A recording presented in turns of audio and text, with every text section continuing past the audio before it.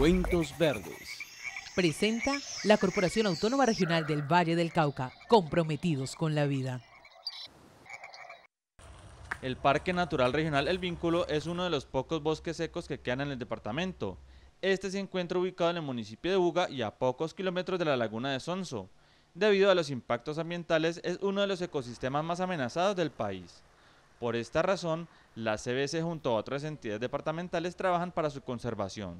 Pero acá tenemos un problema con una especie invasora que se llama guinea, que no ha permitido que las inversiones que realizamos puedan ser efectivas.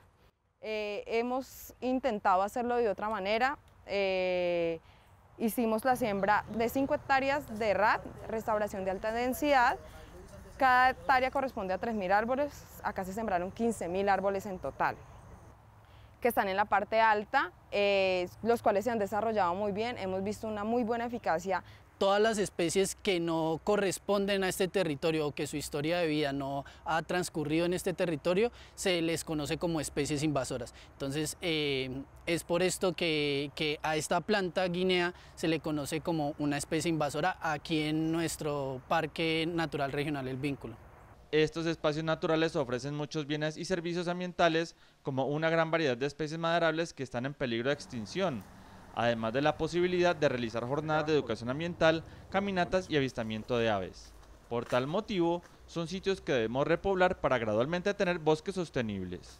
Se ha venido recuperando, se han realizado muchos proyectos por parte de INCIBA, CBC y se han venido recuperando, pero ahora lo que estamos tratando es que las áreas que todavía quedan en pasto, porque pues esta es un área de reserva, no tiene por qué haber pasto aquí, se, eh, restaurarlas con los recursos de CBC y el apoyo pues de otras entidades, está, INCIBA está poniendo también sus profesionales y tiene, digamos que la intención es recuperar esta área.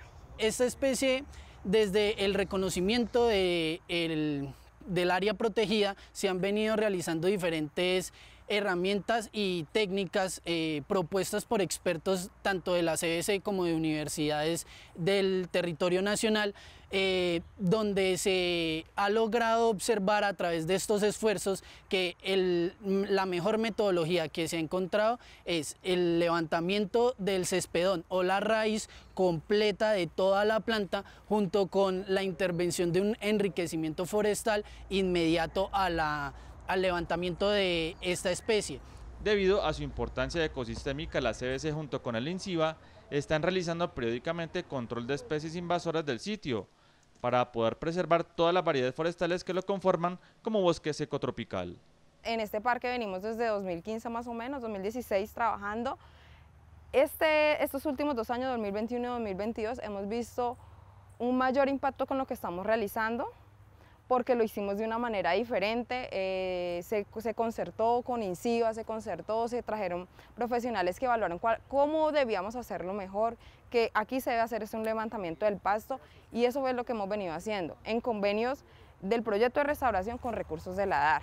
El trabajo conjunto ha sido de vital importancia para que este relicto de bosque se logre conservar y para que todos los vallecaucanos aprecien uno de los ecosistemas más biodiversos de la zona.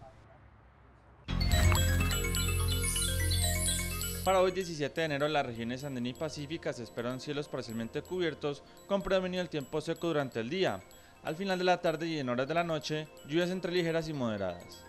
En Cali se esperan cielos parcialmente cubiertos con tiempo seco durante el día. Al final de la tarde y en horas de la noche, lluvias entre ligeras y moderadas con una temperatura máxima de 30 grados Celsius y una mínima de 18. Los niveles del río Cauca y los puntos de monitoreo de las sedes en el departamento permanecieron estables en las últimas 24 horas, excepto Juanchito, Mediacano y Navarro, que presentaron una tendencia decreciente, y Pan de Azúcar y Puerto Mayarino creciente. Hidroclimatología de la CBC la puede consultar en la página web www.cbc.gov.co.